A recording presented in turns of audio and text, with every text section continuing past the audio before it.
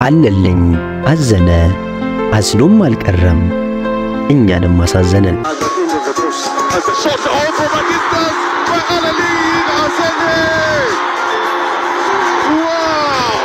ብዙ ጊዜ ትልቅ ደረጃ ላይ የደረሱ ሰዎችን በቅርበት ስለማናውቃቸው እዚህ ደረጃ ላይ ለመድረሳቸው ምክንያቱ የተለየ ከፈጣሪ ወይም ከሌላ ኃይል የተሰጣቸው የተመረጡ እንደሆኑ አድርጌ አስባለሁ።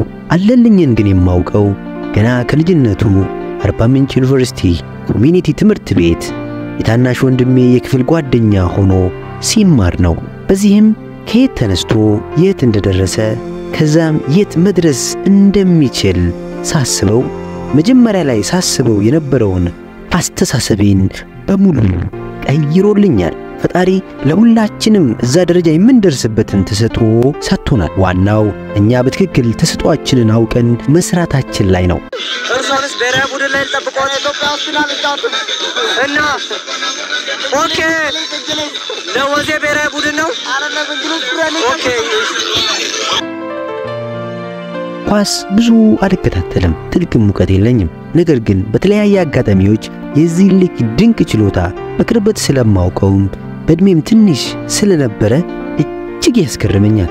ባገኘሁት አጋጣሚ ሁሉ የወንድሜ ጓደኛ እንደነበር፣ አንድ ትምህርት ቤት እንደተማርን እና እንደምንተዋወቅ ለሰዎች እነግራቸዋለሁ።.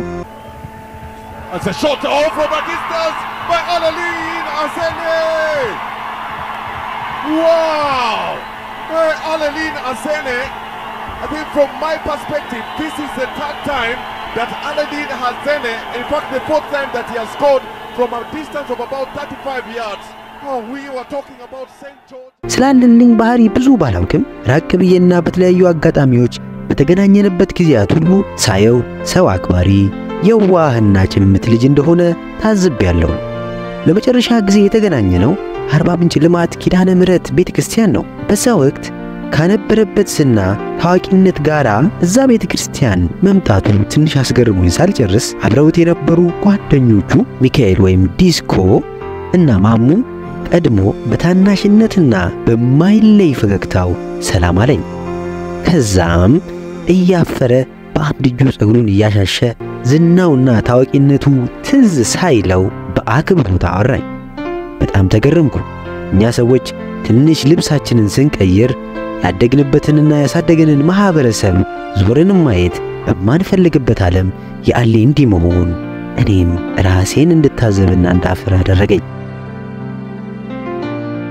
ቀን 18 07 2016 ዓ.ም እንደ ሌሎቹ ቀናት ጠዋት ተነስቼ ወደ ሥራዬ ልሄድ የተዘጋጀው ስልኬን አንስቼ የፌስቡክ account ኤን አንድ መረጃ ለማየት በከፈትኩበት ቅጽበት ፍሬው ካሳሁን የተባለ በቅርበት የማውቀው የሰፈራችን ልጅ አርባ ምንጭ አመለሸጋውን ተስፈኛ ወጣት አለልኝ አዘነን በድንገት በሞት አጣች የሚል የአሌ ፎቶ ጋር የተለጠፈ post አየሁ።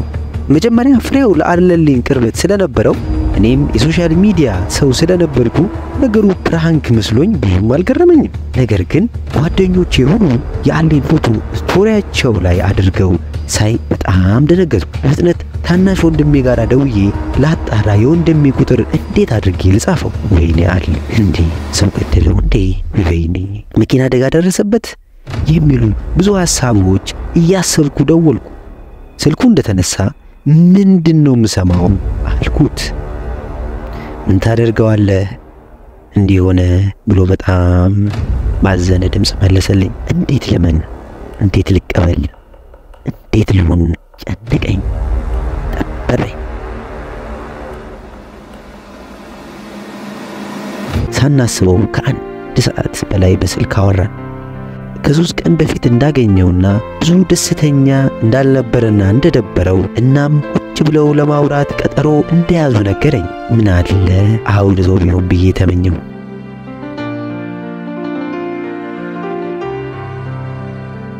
ለምን አለ አለ አንተ እኮ የቤተሰብ ብቻ አይደለህም። አለ አንተ እኮ የሚስት ብቻ አይደለህም። አለ አንተ እኮ የልማት ሰፈር ልጅ ብቻ አይደለህም። አንተ እኮ የአርባ ምንጭ ብቻ አይደለህም። አንተ እኮ የኢትዮጵያ ብቻ አይደለህም። አለ አንተ እኮ የዓለም ነህ። ምናለ የሕዝቡን ሐዘን ብታይ። ነፍስህ በአጸደ ገነት ከደጋጎች ጋር አትረፍ። አለልኝ አዘነ፣ አዝኖም አልቀረም እኛንም አሳዘነን። አፈሩ ይክለል ነፍስህን በገነት ያኑርል ከደጋጎቹ ጋር መንግሥተ ሰማያት ያውርስን። አረሳህም ጓዴ አረሳህም ጓዴ ወዳጄኔ እንግዲህ ባትኖርም አስታውስሃለሁ ሁልጊዜ